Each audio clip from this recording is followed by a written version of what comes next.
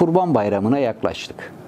Allah nasip ederse pazar günü Kurban Bayramı'nı idrak edeceğiz. E, kurban döneminde de biz kurumsal anlamda çok yoğun görevler yürütüyoruz. İlimizde ilçelerle beraber geçen yıl yüzün üzerinde geçici kurban kesim ve satış yerine izin vermiştik. Yine bu yılda yüzün üzerinde geçici kurban kesim yerini belgelendirip onların denetimlerini sağlıyoruz.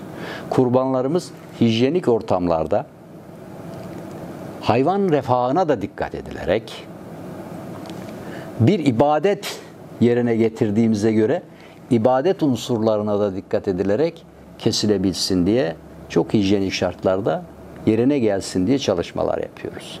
Bunu müftülüğümüzle birlikte, sağlık müdürlüğümüzle birlikte, belediyelerimizle birlikte, yerel yönetimlerimizle birlikte ve il müdürlüğümüzdeki veteriner hekim ve zooteknist arkadaşlarımızla birlikte yapıyoruz. Ve şunu ifade etmek isterim ben. Tarım cebimde uygulaması var. Bakanlığımız tarafından uygulanan.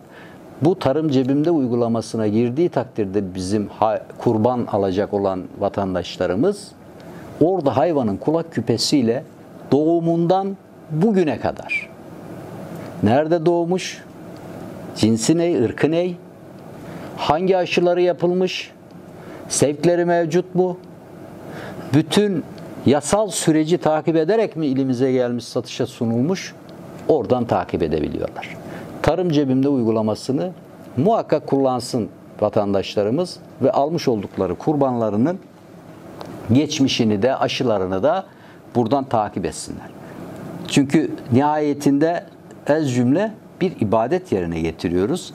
İbadet yaparken de ibadetimize makbul olan sağlıklı hayvandır.